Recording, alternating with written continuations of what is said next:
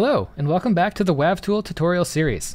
In this video, we're doing a deep dive on the note editor. That's this panel down here, and it's where we're going to write notes, melodies, beats, etc., as well as using Composer, WavTool's AI note writing utility, to use AI to generate some notes for us.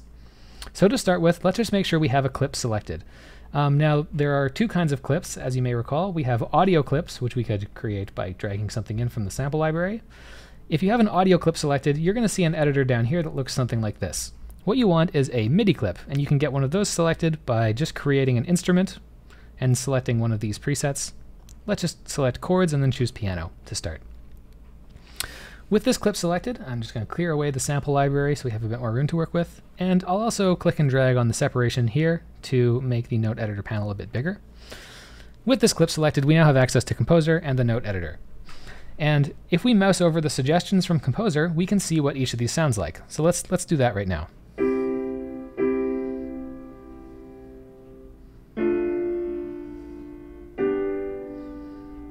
Now, something that can help when you're reviewing these suggestions is turning on the metronome. That'll allow us to hear where the beat is and sort of understand the timing of the clip a little bit better. To turn on the metronome, we can click on this little button down in the bottom right corner here. Once it turns blue, the metronome's turned on, and now if I mouse over this again, we'll hear the beat in addition to the clip that we're listening to.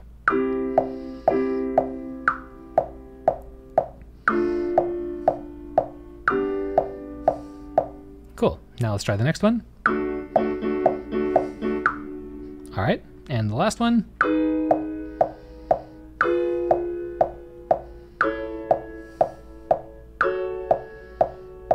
Cool. So the intention with Composer is that you'll pick several suggestions um, in, in order to sort of write out a, a, a, clip section by section. So some of these are actually the full length of the clip, so we, we would be populating the clip with just one click. But I'm going to choose this middle one that's a little bit shorter so we can make a few more decisions. Now that that's done, it's going to come up with a new suggestion for us to continue this pattern. We can take a listen to these ones.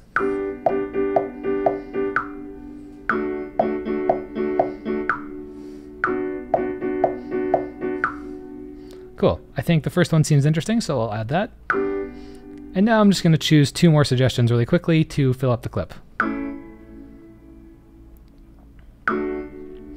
Okay, so now because we've completely filled the clip, um, we're going to get this message here, no more room to add notes. Now we could click on Extend Clip if we wanted to add some additional time into our MIDI clip. I'm now going to zoom out so we can see the whole thing. And we can see we've got this new space over here. If I undo, we could instead click New Clip, what that's going to do is it's going to create a new clip to the right of the one that we already had. It's also going to duplicate any content on adjacent clips or on adjacent tracks so that we can sort of quickly just create a variation of whatever this was with one click. Um, finally, whoops, uh, the last option is add bass. This is just going to really quickly, in one click, add a new bass track adjacent to our first one. And now Composer's suggestions are going to be taking into account the first clip that we were looking at. If I click regenerate now, you'll notice a little animation indicates that Composer is paying attention to what's in this clip. You can see this little bar wiping back and forth. That's Composer looking at what's in this just additional clip so that what we're adding here will make musical sense with it.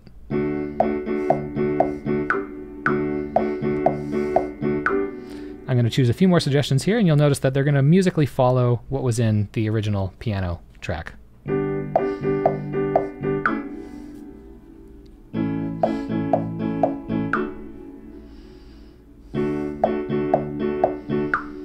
Now that we've got a few instruments going, we can turn off the metronome since I think the timing will be pretty obvious from here. Okay, now let's look at doing some of our own manual edits and uh, writing in some notes by hand inside of these clips. I'm actually just going to start a new clip to illustrate this. So once again, I'm going to click on this Add Clip button that appears up here. Um, and now I'm going to show you a few different ways that we can draw in our own notes. So to start, I actually want to zoom in the note editor a bit since we're, we're uh, zoomed out kind of far right now. So I can scroll up and down with my mouse wheel normally. Um, but if I wanted to, zo to, zoom in vertically to make these notes a little bit taller, I can hold Command Shift, or if you're on a PC, Control Shift, and then scroll up, and that's going to zoom in. Now, the zooming direction might actually be reversed for you, and if that's the case, you can come up to Edit, Mouse and Keyboard Settings, and then use these settings to change the way that zooming and scrolling work so that it feels right on your computer. Okay, now additionally, if you wanted to zoom in uh, horizontally, so sort of like this, you can hold Command and scroll up or down, or Control and scroll up or down if you're on a PC. Um, this seems zoomed in enough for me, so now we can start writing some notes. To do that, I can hold Alt or Option, and then click somewhere inside this note editor to draw in a note. Let's draw in a C right here. And now I can hold Option and click to draw in another note. And you'll notice that the length of these notes is always the same. It's always one beat. But if we wanted to change that, all we have to do is click and drag on the edge of one of these notes. If I make this note, let's say half as long, then the next time I alt click or option click, it's going to add a note in that's that same length as the last one that I edited. If we wanted to option click and change the length at the same time, I can just option click and drag to make a note that's as long as I want. And once again, once we set this note length, the next note I add is going to have the same length. So in this case, that looks like 6 16th notes long. There we go. Now another way that we could write in our own notes is by using our computer keyboard to play notes and then press the tab key to complete them. So you can see right now, we've got this tab note showing up. It's a little sort of gray, um, like dashed line note with the word tab written inside of it. And if I press tab, that note's going to get added in to our clip right away. Um, if you see this note and you press tab and it doesn't work, it might be because you have another um, panel selected. So just click inside of the, the note editor panel to focus it. It'll have this little outline around it. And then tab should start working for you again. Okay, now to change which note gets inserted when we press tab, um, well, the, the way it works is it, it, it'll insert the last note that you played out of that track. So if I click on this piano keyboard here, you'll notice the tab note moves around. But we can also press notes on our computer keyboard to change the tab note. So I, I could press the, um, the key A, you can see it's indicated here. Now, you'll notice we're hearing this coming out of the bass guitar channel instead of the piano channel, and that's because the bass guitar is armed currently. If I arm the piano, then my computer keyboard is going to send notes out of the piano instead.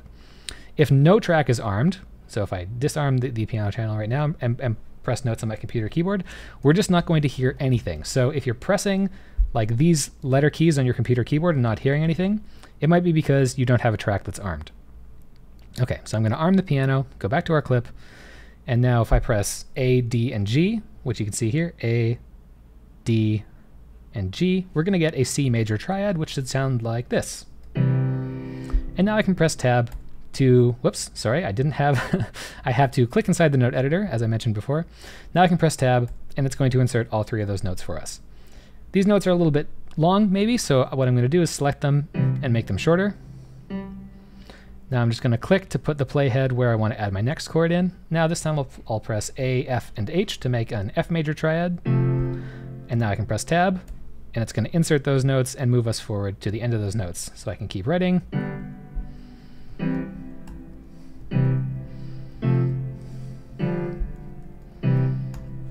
And just like that, by pressing a few letters on my computer keyboard and pressing tab, we can sort of quickly write in chord progressions and melodies.